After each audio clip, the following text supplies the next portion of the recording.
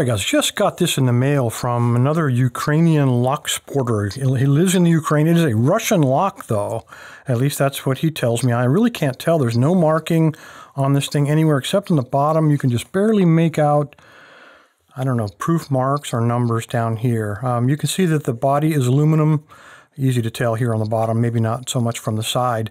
Uh, it also looks like a replaceable core, and I thought it was based on the pictures, but when you look at the core, it's not the dimensions are not quite right. The core is a little bit oversized, and that kind of not really centered if you look at it closely. Um, this is held in with a pin right here. So they put the core in, and then they pin it permanently. So we're not going to be able to take it apart. Got a drain hole, let the water out, so pretty heavy lock. Steel shackle, not aluminum. So um, the key, it looks almost as if the key was hand filed. Uh, yeah, I don't know. It's really difficult to tell.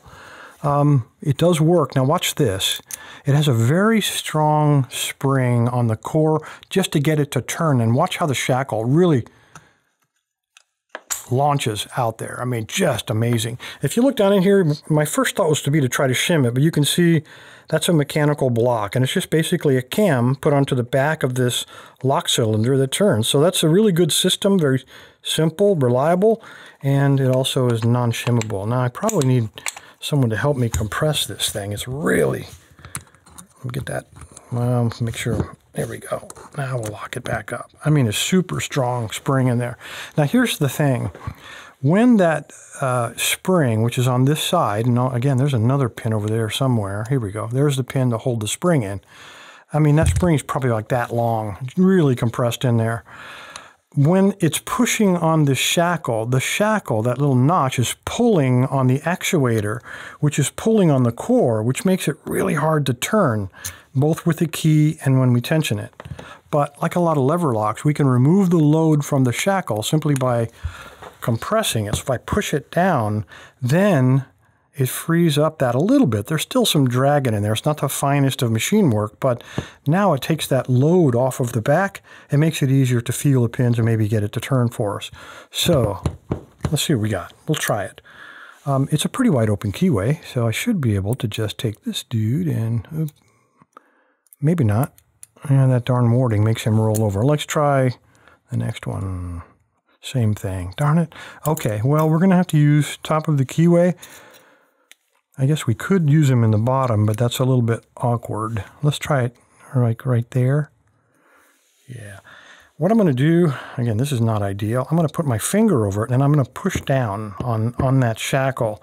Try to make it a little easier on myself. Let me find a decent pick because it takes quite a bit of energy to hold that. All right, here we go.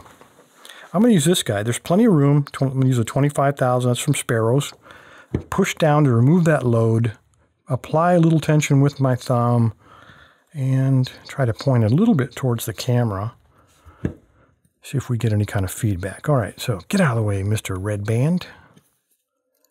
All right, a little tension and see if we got binders. There it is, pin two binding.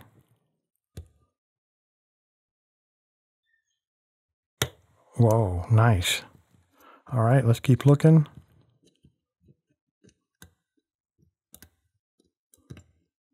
Pin three.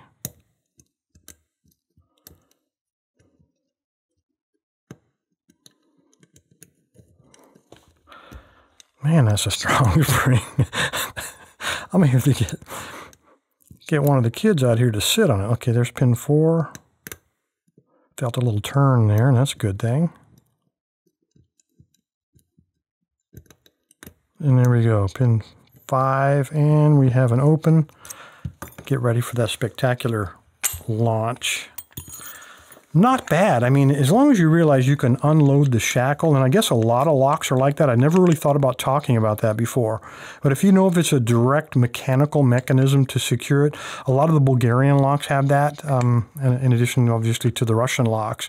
Uh, it's a simple, reliable mechanism, but if you push down and compress that spring, remove the tension on the lock, it makes it much easier to get a feel for those pins and also for your tensioning to get the feedback. Anyway, guys, there you go, an unknown branded Russian lock straight out of the Ukraine. Appreciate your time.